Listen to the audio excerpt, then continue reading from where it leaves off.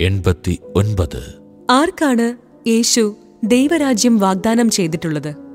എല്ലാ മനുഷ്യരും രക്ഷിക്കപ്പെടണമെന്നും സത്യത്തിന്റെ അറിവിലേക്ക് വരണമെന്നും ദൈവം ആഗ്രഹിക്കുന്നു.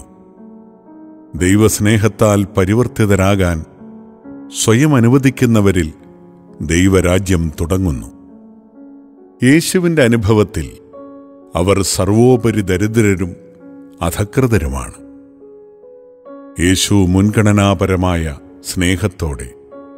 ആദ്യമായി സാമൂഹികമായി പാർശ്വവൽക്കരിക്കപ്പെട്ടവരിലേക്ക് തിരിയുന്നുവെന്നത് സഭയുടെ അംഗങ്ങളല്ലാത്ത ആളുകളെപ്പോലും ആകർഷിക്കുന്ന കാര്യമാണ്.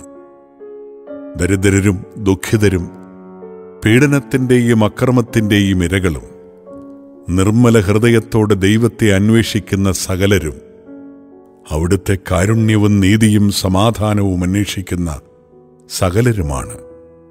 മലയിലെ പ്രഭാഷണമനുസരിച്ച് ദൈവരാജ്യത്തിലേക്കുള്ള പ്രവേശനത്തിൽ മുൻനിരയിൽ നിൽക്കുന്നത് പാപികളും സവിശേഷമായി ക്ഷണിക്കപ്പെട്ടിരിക്കുന്നു. ആരോഗ്യമുള്ളവർക്കല്ല രോഗികൾക്കാണ് വൈദ്യനെ കൊണ്ടാവശ്യം. നീതിമാന്മാരെയല്ല പാപികളെ വിളിക്കാനാണ് ഞാൻ വന്നത്. യേശു തന്റെ പിതാവിനെ പറ്റി ഇങ്ങനെ പറഞ്ഞു.